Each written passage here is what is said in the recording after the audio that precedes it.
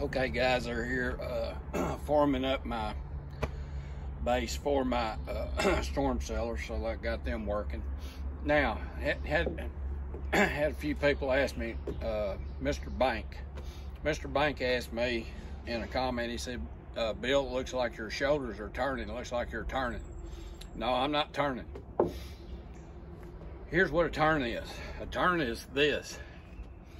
If if I, the old way, mean, let me see if I can do it. But anyway, a turn would be if I'm loading up my right side and my left shoulder goes behind the ball, that's a turn. You're completely out of balance that way. No, I do not turn. My shoulders do this. My left scapula controls my right hip.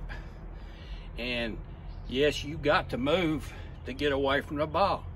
So your left left scapula moves this way and your right buttocks moves back. The same holds true with your right scapula and your and your left hip. When the right scapula comes down, the left hip goes back. there is no turn, okay? That's the only way that you can stay perfectly balanced and neutral. Okay, hope that answered that question. The other question was, uh, do you just let your arms drop and that's it? No, I put force on it. I was just trying to show you guys that if you just let, let your arm drop like that, then you'll feel that sling with your left, with your left or, or your right, right arm. Okay, and you can do it with your left also. You do the same thing. I mean, here's the position. Just let it you'll you'll feel it turn over with your left also. All right. Now, I'm gonna keep doing these vids on fold unfold because I tried it 10 years ago, but look at that big ass squirrel. I tried this 10 years ago and threw it in the trash can and I lost 10 years of probably the best golf of my life. And I do not want you guys to lose that. Okay. So I'm just going to keep boring the hell out of you until you finally figure out, figure this thing out because it's that important. All right. now, let's talk about, okay, I do a 10, 10 finger grip. Okay, you see where my thumb is?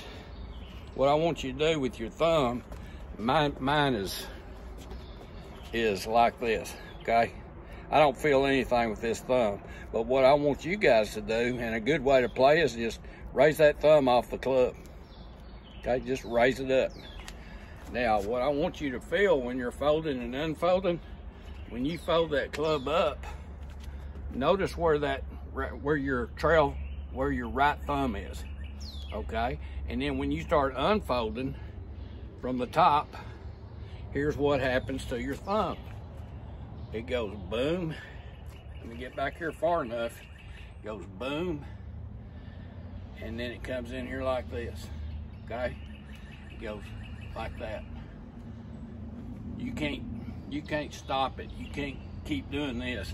That sucker's going to turn over. And your thumb is going to go that way. Your thumb is going to be looking at looking at you this way, coming down, and when you get through, it's going to be pointing behind you. Okay? Try to get that down or that should be a reference of what you're trying to do, okay? Another thing that I've been looking into, and I'm not even gonna go into that right now, but I've been looking at, instead of having my my thumb on, my left thumb on top of this club or to the side, I'm gonna move that sucker down in here where it's all 10 finger, okay? It looks something, I can't get it. It looks like this instead of this.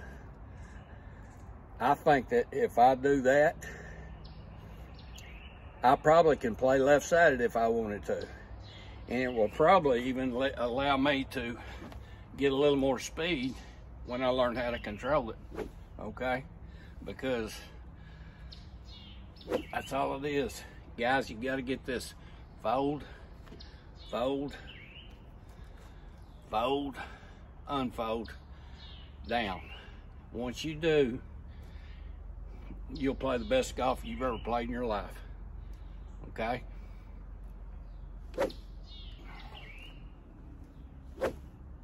Level hips. Okay? I'm going to think of some more stuff to try to help you guys. Y'all keep, keep making comments, and I'll try to keep answering them. Talk to y'all later. Bye.